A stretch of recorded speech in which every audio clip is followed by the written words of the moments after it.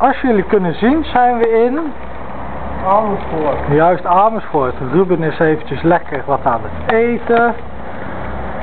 Hij is net bij de Kentucky Fried Chicken geweest. Ik ook. Ik heb zelfs ook kip gegeten. Oh, eh, dat is echt een wonder. Ik, ik hou niet eens van kip. Maar ja, het is een genetisch gemanipuleerde kip, dus dat vind ik wel lekker.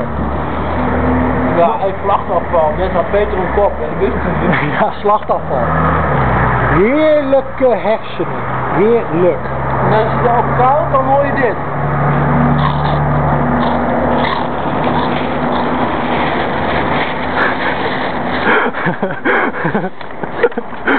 Word je al slachtafval?